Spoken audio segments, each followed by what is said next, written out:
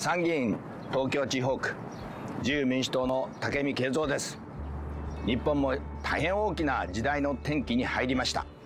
少子高齢化人口減少。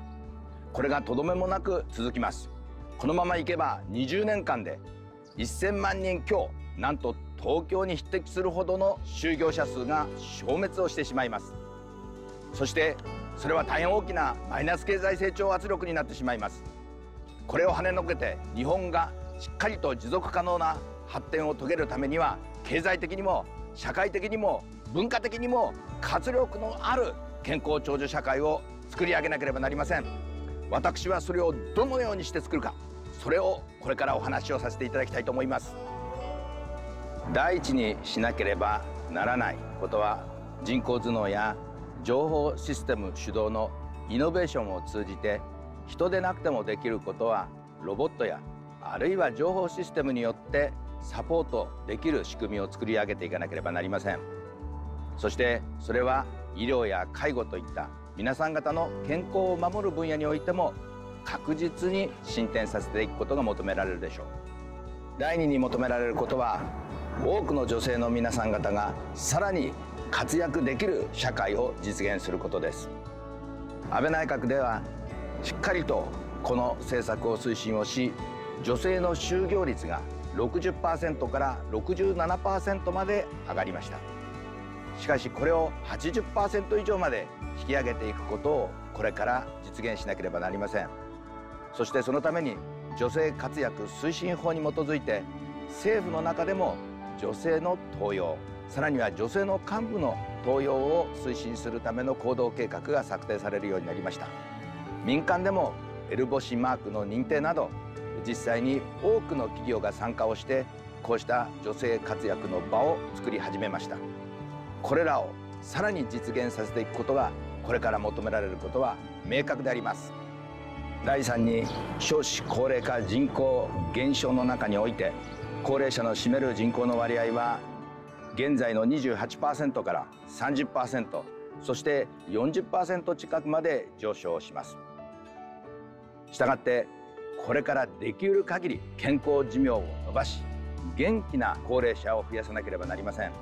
そのために2040年までに少なくとも3年以上健康寿命を延伸させます。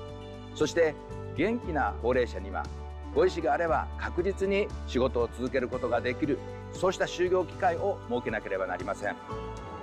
こうしたことが実現することによって一定の所得も確保されそして若い人たちへの負担を軽減することが可能になります。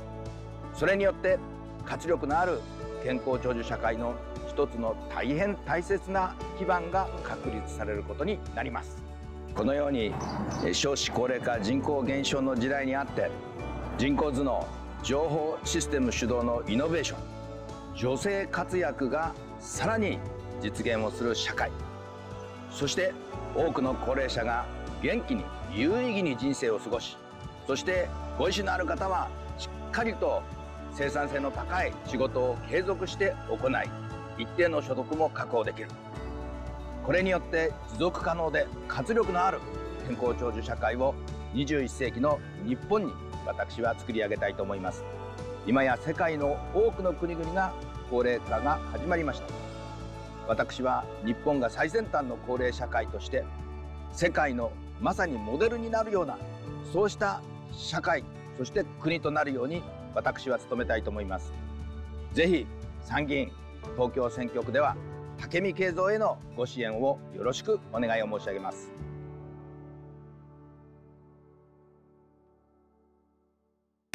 自民党。令和日本。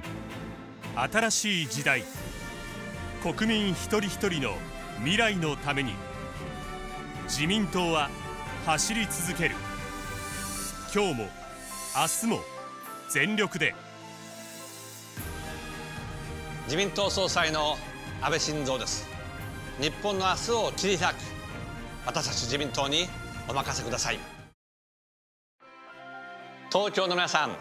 活力ある健康長寿社会を目指す。武見敬三武見敬三さんをお願いします。